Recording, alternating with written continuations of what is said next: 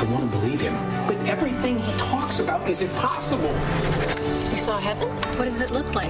It's beautiful. The Burpos have an incredible story that's being heard around the world. When Colton was only four years old, he had an emergency surgery during which he says angels came and took him to heaven. He's here with his parents, Todd and Sonia, to tell me about the experience. Good morning. Good morning. First, I want to ask you, Colton, were you afraid when the angels came to see you? Yes, I was very afraid because I could look down and I could see myself, but I could also see my dad and my mom, and they were in completely separate rooms in the hospital. And I was scared out of my mind, but I was on Jesus' lap, and he had the angels sing to me, and they calmed me down. What does heaven look like? Well, to give you brief examples of what heaven looks like, um, one is the perfect version of earth. There's no sin there, which means that it's always, there's no night, there's no glasses, no wheelchairs. Um, everybody in heaven has wings.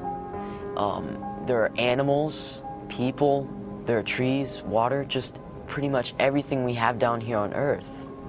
Todd and Sonia, I want to ask you when your little boy first told you about this experience, did you believe him?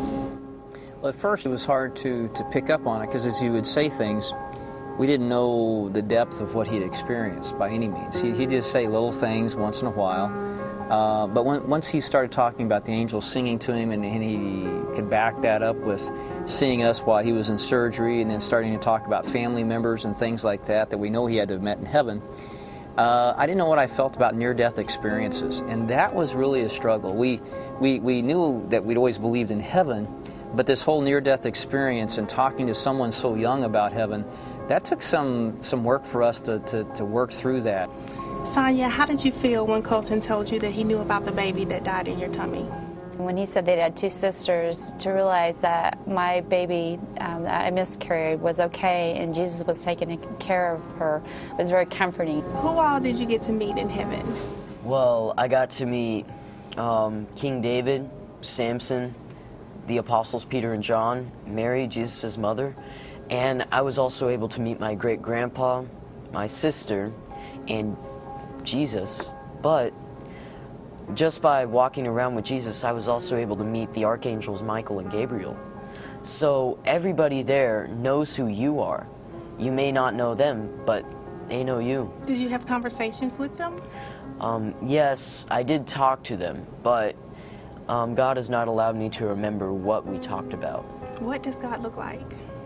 Well, it's hard to imagine what God looks like because he's just so massive. He's big enough that he can hold the whole world in his hands, so you know that trying to see him is just difficult. But the closest representation to what he looks like is the Archangel Gabriel. What about Jesus? Describe him. Well, Jesus, he has brown hair, a brown beard, he has just beautiful eyes beautiful sea blue eyes. And his smile is brighter than any that I've ever seen.